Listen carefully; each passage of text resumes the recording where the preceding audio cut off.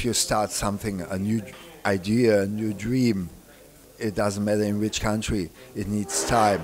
So I'm very uh, positively surprised about the idea of this kind of uh, ground. So I, I, like that. I feel me at home. You know, for a football coach, it's so important to feel home. You know, then you then you can teach the, the players. You know, if you feel strange, it's not possible to give the best for the players. I give, I promise you, the best for your players here. And there. so I like it so much.